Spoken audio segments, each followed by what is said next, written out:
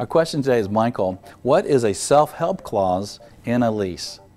Well, a self help clause is some clauses in the lease that allow the tenant to take care of things if the landlord doesn't.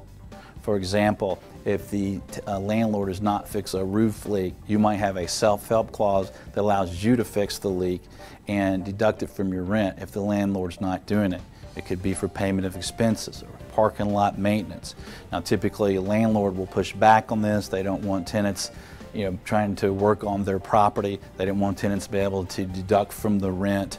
Uh, but in some cases, if you're a big enough tenant or the situation is appropriate, you may be able to get some good self-help clauses uh, in your lease. One of the things as a tenant rep that we do is we look at the capital stack on the building, see when loans are coming due, see if we think if the building's upside down, and see if we have a situation where we think the tenant might be in a position where they may need to evoke some self-help clauses. So it's important to know what they are and get them when you can if you're a tenant and know how they could impact you as a landlord as well.